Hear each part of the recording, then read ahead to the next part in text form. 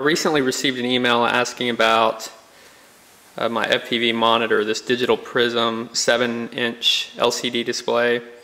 It costs about 50 bucks on Amazon and you know instead of just sending a direct reply I wanted to put together just just a little video.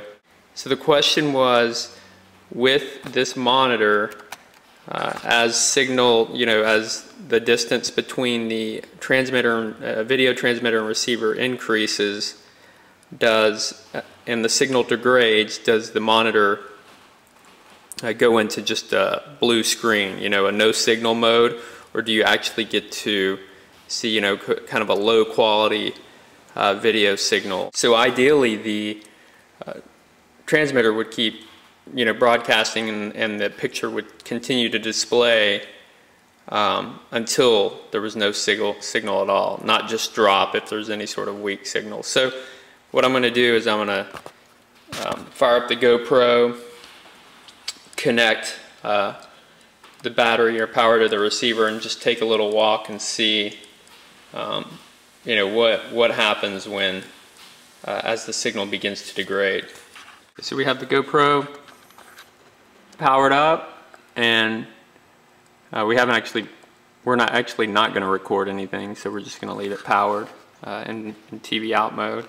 And here you can see the monitor with no signal so I'm going to go ahead and uh, power up this LiPo to the transmitter and let's see if we get a uh, video feed into the monitor.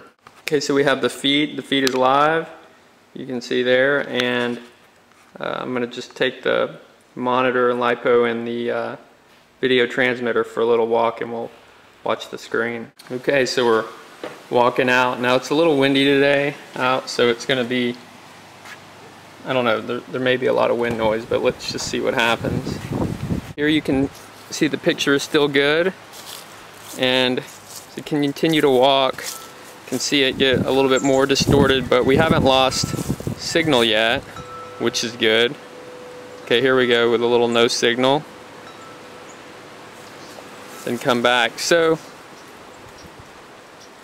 you'll notice that the uh, transmitter still tries to receive the signal even though it's weak and we still get some sort of display uh, during the process. Okay, you can see it kind of cutting in and out. There's a no signal. Then I'll just come back closer and now our pictures live again.